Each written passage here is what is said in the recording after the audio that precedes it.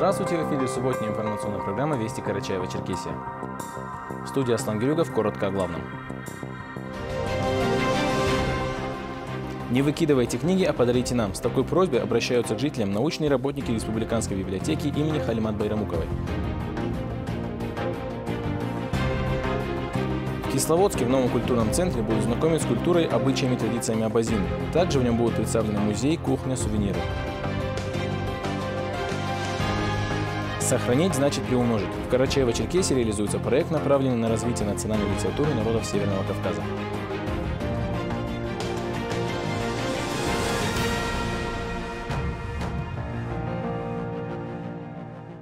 А начнем вести в субботу прогнозом погоды на сегодня.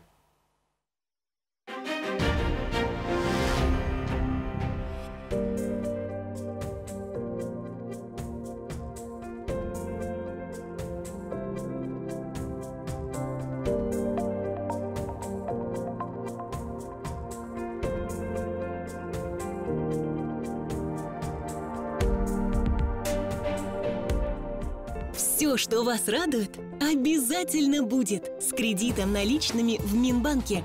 Возьмите кредит до 2 миллионов рублей по ставке 6,9% годовых.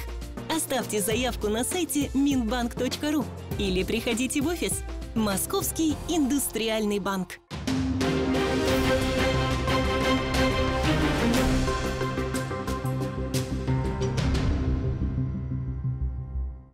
Сегодня Международный день Организации Объединенных Наций. В 1971 году на 26-й сессии Генеральная Ассамблея провозгласила этот день международным праздником и предложила всем государствам отмечать его. ООН – это международная организация государств, созданная в целях поддержания и укрепления международного мира, безопасности и развития сотрудничества между странами. В настоящее время в ее состав входит 193 государства. Не выкидывайте книги, а подарите нам. С такой просьбой обращаются к жителям Карачаева-Черкесии научные работники Республиканской библиотеки имени Халимат Байрамуковой. При этом при получении книжного подарка в библиотеке пристальное внимание обращают на те книги, которые спрячут в сейфе и никому не покажут. Подробности выяснял Руслан Кармазов. Вот нам за последнее время достаточно много приносят, как бы э, люди не хотят выбросить книги, приносят нам.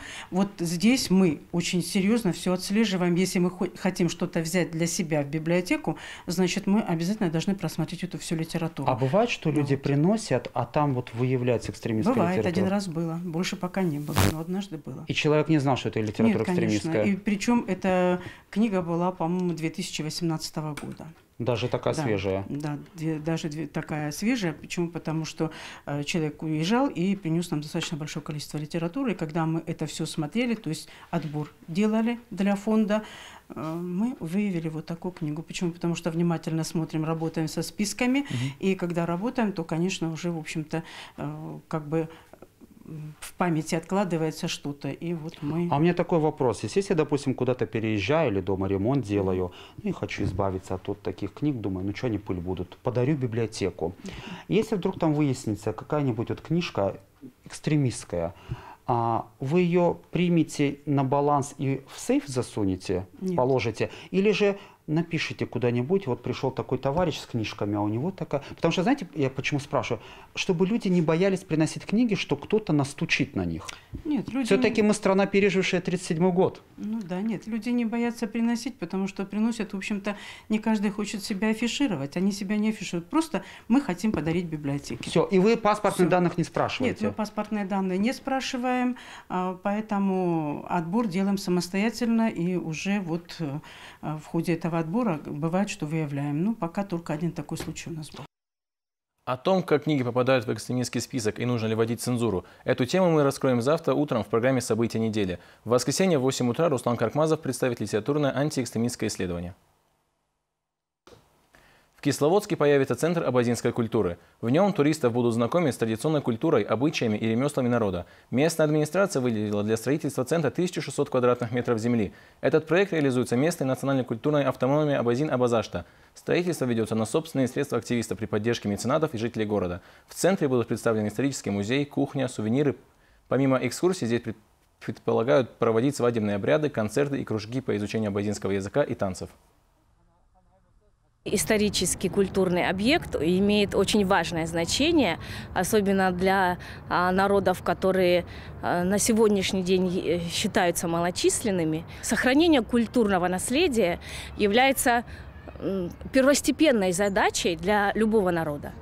Каждый народ имеет право сохранить, приумножить и передать своим потомкам то, что э, накапливалось тысячелетиями.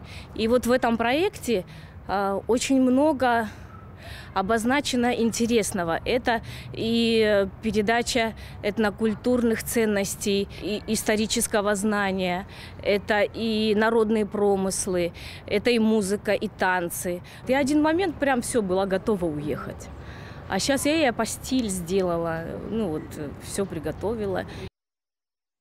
Карачаево-Черкесия по праву стала центром развития для начинающих писателей Северного Кавказа. Проект «Пиши не в стол», реализуемый клубом поэтов и писателей «Метрум», был поддержан фондом президентских грантов.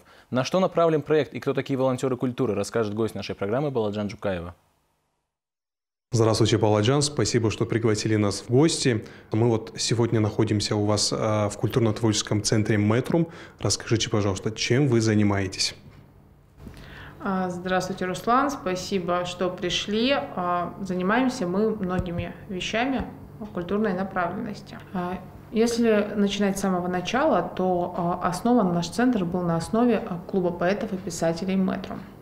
Затем, когда мы уже были полны сил и решимости, мы создали организацию некоммерческую – Центр литературно-художественного и культурно-просветительского развития в Карачаево-Черкесской республике. И теперь наш центр многофункциональный. А, на его базе функционирует э, детская театральная студия, школа изобразительных искусств, а, клуб поэтов и писателей. И а, также мы являемся центром культурного волонтерства в республике. Но я считаю то, что культурное волонтерство у нас зародилось с самого начала, и просто недавно мы обрели официальный статус. Говоря о волонтерах культуры, кто они и чем они занимаются? Это всероссийское э, движение, имеющее на своей основе не только а, значит, прав, э, правовой какой-то статус, но и очень мощный идеологический статус. А в целом, если брать э, официально волонтеров культуры в России, то есть это АВЦ волонтеры культуры, то это одна из самых молодых организаций. Она была официально организована в 2019 э, году, но как показала статистика, набирает свои обороты и является самым популярным направлением в волонтерстве. А, волонтеры культуры – это люди, которые а, не всегда являются какими-то культурными деятелями, ну, в том числе культурные деятели, которые, значит, рдеют, живут и борются за сохранение и развитие культуры в своих регионах. Сохранить значит приумножить. Это наш девиз. То есть мы работаем по нескольким направлениям, но эти слова, как бы в них заключается идеология, то есть мы сохраняем нашу самобытность и развиваем новые культурные направления в республике. Баладжан, я знаю, что ваша организация уже реализовывала проекты и э, организовывала мероприятия. И самым, наверное, известным на данный момент проектом является проект «Пиши не в стол». Расскажите, пожалуйста, поподробнее.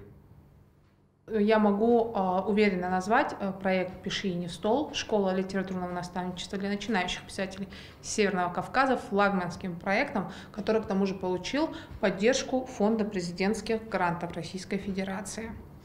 А, проект направлен на сохранение и развитие а, национальных культур и литератур поэтов и писателей, которые только начинают свой путь и проживают на Северном Кавказе. Что немаловажно, проект направлен на сохранение национальных языков. Как э, мы знаем, это очень острая проблема для всего Северо-Кавказского округа. Сейчас мы находимся уже на завершающем этапе заочной части проекта. Со всех республик СКФО поступили э, заявки, потому что мы провели очень эффективную информационную кампанию. И э, даже есть представитель Казахстана, одна девушка, и Московская область, Санкт-Петербург. То есть мы, сами того не понимая как, расширили очень сильно географию проекта в итоге 50 лучших стали участниками заочного этапа, прошли очень эффективное и очень насыщенное онлайн-обучение. Мы привлекали спикеров со всей России, которые печатаются, которые успешны в своей области. А, кроме того, у нас была разработана образовательная программа, которую провели значит, Евгения Черняева и Мадина Хатукаева, э, наши, как, так сказать, члены клуба мэтром, которые были с самого начала и являются э, реально экспертами своей области. Э, очень приятно то, что у ребят, участников, очень, помимо того, что они молодцы, талантливые, они пишут э, на данный момент очень хвалебные отзывы о нашем а, проекте, и я надеюсь на то, что в дальнейшем после того, как мы реализуем проект, будет создана ассоциация писателей Северного Кавказа, и, соответственно, на базе клуба поэтов и писателей Мэтрум. То есть мы хотим в этой области стать во благо нашей республики лидерами. Поделитесь секретами, чем Центр культуры и творчества Мэтрум будет дальше удивлять? Ну, поделюсь, что планы у нас достаточно амбициозные. Мы только начинаем свой э, плодотворный многолетний труд. Я считаю, что организация должна существовать до тех пор, пока она э, не выполнила задачи, которую перед собой изначально поставила. Задач у нас много. Все они направлены на развитие э, культуры в регионе, на то, чтобы э, жители нашей многонациональной, многокультурной республики не только э, жили в мире и согласии культурном, но и прониклись, прониклись взаимообогащением, наставничеством. То есть это очень важно. Кроме того, у нас в реализации несколько проектов. Мы ежегодно проводим поэтические фестивали, на базе нашего Центра культуры и творчества на постоянной основе проходят мероприятия, собрания, встречи с э, известными культурными деятелями. И э, вот мы стали участниками э, нового конкурса Фонда президентских грантов с проектом, направленным на коррекцию дефицита внимания и гиперактивности у младших школьников республики методом театротерапии. То есть у нас многозадачные планы, но Главное это команда, главное это э, как вам сказать, это душевное вот это вот рвение. Мы как, пока мы можем, пока мы хотим, пока нам, нам позволяет наша вот эта вот энергия, мы будем работать, а в дальнейшем, я думаю, то, что появятся новые люди, вот, и Центр культуры и творчества Метром, я в это верю, будет еще долго радовать, может, даже несколько поколений э, жителей нашей республики. А мы только на самом начале пути. Кроме того, я хочу воспользоваться э, этой ситуации и пригласить вас, вашу съемочную группу, на э, очный этап проекта «Пиши не стол», который пройдет 6 по 8 ноября э, в поселке Домбай. Там соберутся лучшие из лучших участники, э, спикеры, в том числе гости из Москвы, Министерство культуры будет участвовать. Поэтому буду очень рада вас видеть, потому что нам очень важно ваше участие в этом проекте. Спасибо огромное за приглашение. Мы обязательно постараемся принять участие. И, конечно же, мы и наши телезрители желаем вам удачи в дальнейшей реализации ваших проектов. Сегодня особенный день для любителей спорта. В 23.00 по московскому времени пройдет бой нашего чемпиона Хабиба Нурмагомедова. В этот раз ему противостоит грозный соперник Джастин Гэджи. Напомним, что на счету Хабиба это уже третья защита титула, а его профессиональный рекорд составляет 28-0.